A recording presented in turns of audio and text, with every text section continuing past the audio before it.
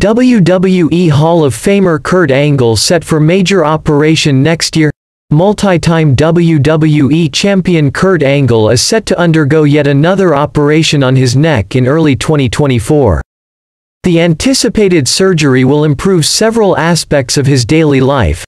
The WWE Hall of Famer famously won a gold medal in freestyle wrestling at the 1996 Summer Olympic Games in Atlanta despite suffering from a broken neck. Angle used a tough in-ring style to make a name for himself in pro wrestling, and that led to multiple surgeries on his neck over the years, in addition to other injuries and health issues. Angle spoke with Joe Rogan back in September and revealed that he can't feel his pinky fingers due to issues related to his neck.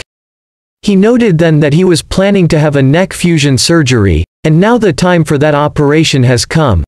Speaking on the latest episode of The Kurt Angle Show, the 54-year-old announced that the surgery is planned for the early part of next year. The Olympic gold medalist also revealed this past summer that he needs another shoulder replacement surgery in the near future.